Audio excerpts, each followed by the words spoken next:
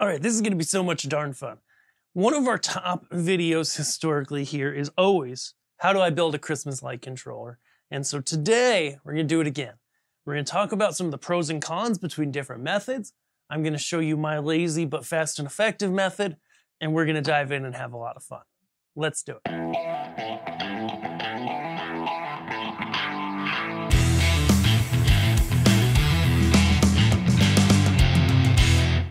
If you've never put together a Christmas light controller before, it involves taking a control board like this and the other various components that are around here with me and assembling it into a fully complete box. Now, there are a few different ways to do this and some definite pros and cons to each. Um, historically, and if you buy controllers ready to run, ready to go, which we're hoping to offer soon, and honestly is my recommendation because it's well worth it, you end up with something that kind of looks like this. This one's obviously an old homemade one of mine. Um, but you have a controller mounted to a plastic board. Everything gets mounted up, and then you mount it in the box. You've got all cords coming out nice. Um, everything is fixed in place. It can't move, and it's good to go. These are really nice, and you know, can be effective. But at the end of the day, when it comes down to it, what do we need out of a Christmas light controller? We kind of need like three things, right? We need it to be reliable. We need it to be accessible, meaning that if we need to get inside of it to adjust something, to fix something, we'd like that to be easy. Using the mounted version, that's not always possible. Sometimes there's stuff that hides behind. So we need it to be reliable. We need it to be easy to get into, to fix, and what was the third thing? Doesn't matter. That's where a lot of times I just use SockitBoxes, which you can buy in many places, including Amazon, which are just these boxes that have a lid, have these port holes coming out of them, and you just put all your cables through the port holes and off to the races you go. Okay, not quite as neat and clean looking, but a whole lot easier, honestly, usually cheaper, and just as effective. Okay, um, the only downside that you sometimes could run into is um, is that you know you just when you first put it out for the season, open it up and make sure that you know there aren't anything, nothing's touching that shouldn't be touching, right? Wires, metal, etc. But if you look past that, you should be pretty good. Okay, so how do we build one of these things? Well, today we're going to build a Genius 16 port uh, regular controller. Okay, pretty run of the mill. Um, we're also going to talk about, for example, if you're doing a Genius Pro controller, it's a little easier because you have these built in power connectors, which are super nice.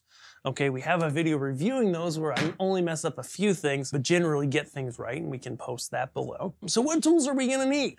Well, for a Genius, the beautiful thing is you kind of only need one of these, a screwdriver, and you will definitely need some wire strippers and I have lost my regular wire strippers so I've just got this style which generally works well.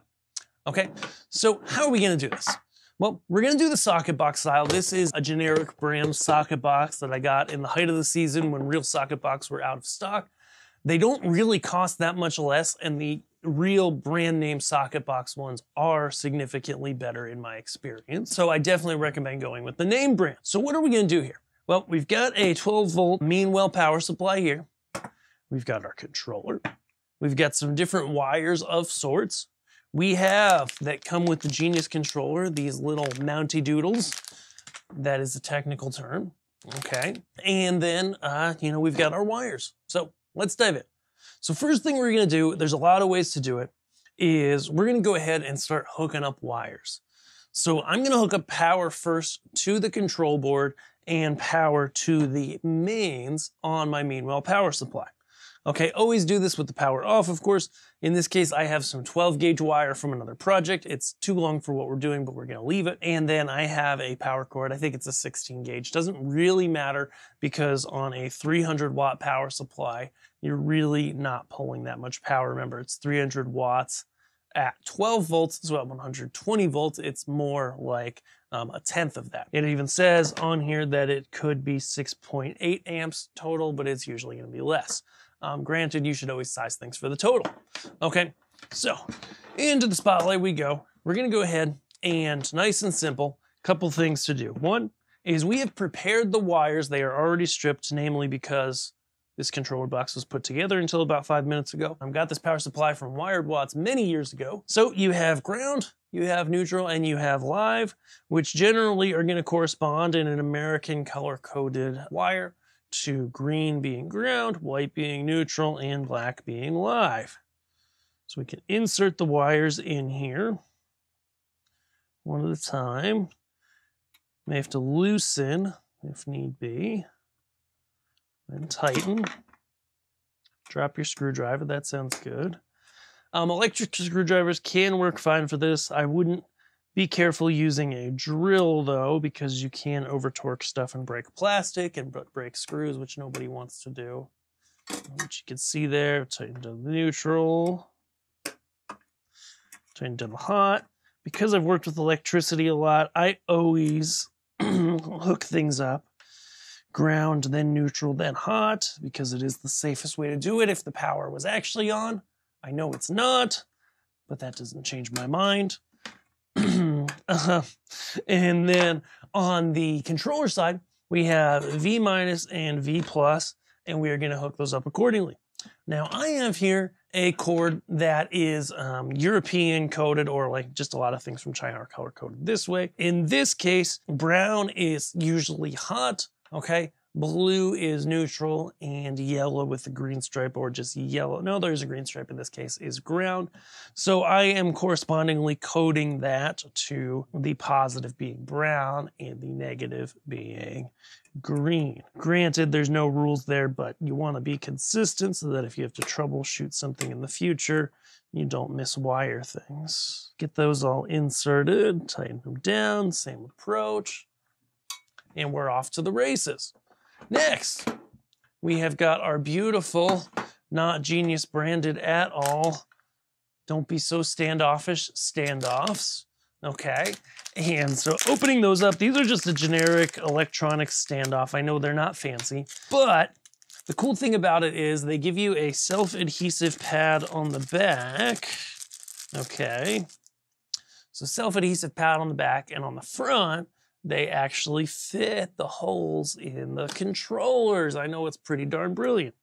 So I can literally take this controller as it stands, and I'm going to apply these like so.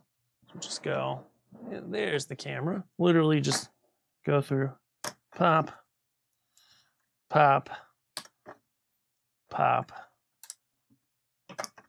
pop. Now this is the place and time where we go, hey, we should check and make sure this fits, right? You know, just like buying a boat or something for your garage. So pop it in the box, make sure it fits. It does. It's going to be just fine, just dandy. I love these little standoffs because they give you space, gives the power supply space to breathe. That fan can work, you're good to go. Uh, while you're here, you always want to make sure on Meanwell power supplies that this is switched to 115 volt. If not, find your nearest and most friendly flathead screwdriver and change it. Otherwise, it ain't gonna work. So now that we've gotten all standoffish, we can go ahead. We've got these mounted. Go ahead, take the self-adhesives off. And see, I need to do this for my show this year anyway, so might as well do it on camera for you guys. Beautiful, orient it whatever way you want. You know, I would try to line the standoffs so that they're not blocking the fan. That would be, you know, a recommended setup. Gently push down just a little but the adhesives are really good and we're not really like, we're not doing it like this, you know? And now you're good there.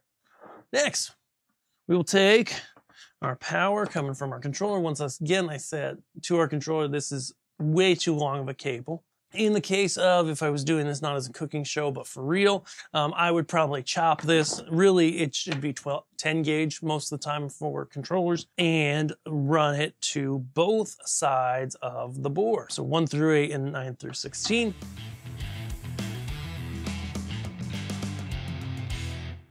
In this case, just for the sake of brevity, we are going to just do the this side, which says power, and that side has the, it says required, um, because it's what powers the electronics in the board. So now just go ahead, negative Nancy there where it says ground.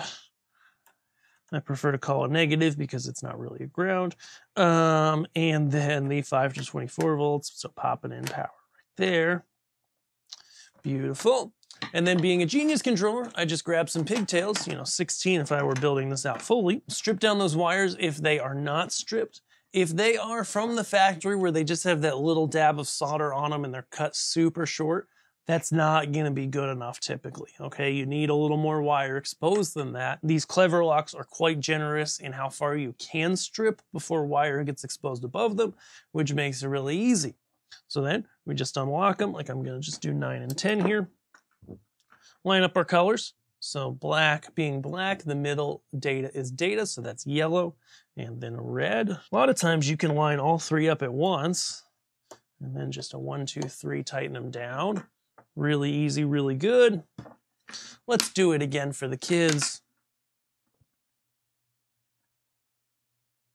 And this is a way shorter video than last time I did one of these. Because, man, these Genius controllers just make it so easy to do. That's why we love them. And we don't even sell them yet at the time of this video. We're working on it. We're working on it. Capital is expensive, man. It's tough. So we're going to take the whole guy, bop it in here. Cord's going to go to the appropriate places. So this cord, which I know is a bunch of extra mess, I'm just going to shove in there. Power cord out the back here. So we've just inserted it right into that cable gland.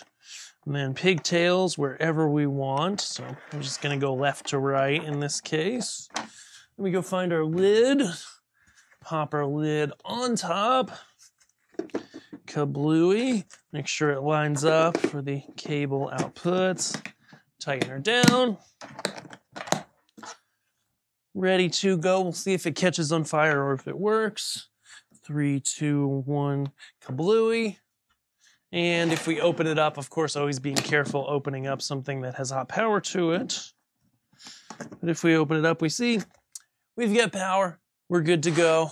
Controller is happy, wealthy, and wise. I don't know. And we can just for fun, just for fun, just for fun, because Genius controllers again are awesome. We'll find some pixels here. I know these background pixels are. Plug is somewhere.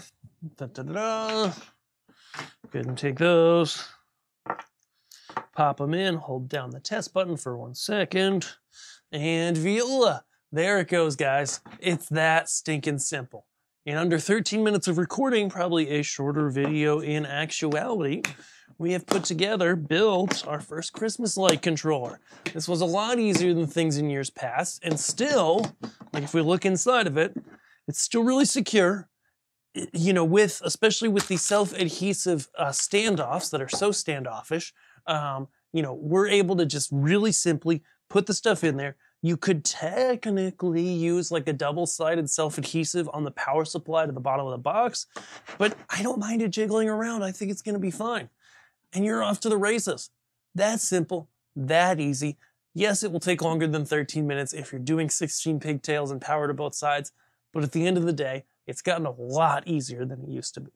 Um, thanks so much for watching. If this is your first year doing a show, then you definitely need the Learn Christmas Lighting Academy. It's the only step-by-step guide to this hobby that gets updated every year and has a forum where you can ask myself and other professionals when you have questions applying things to your display. And that's a great option, so check that out below. And when you need pixels, uh, hopefully controllers too, ready to run controllers so you don't have to do this, then Above AVL is your place to get them head over to aboveavl.com. We'd love to help you get everything you need into your hands for your display this year at a reasonable price with really great quality and awesome service if you need it, but hopefully you don't. Thanks so much for watching. Have a great day.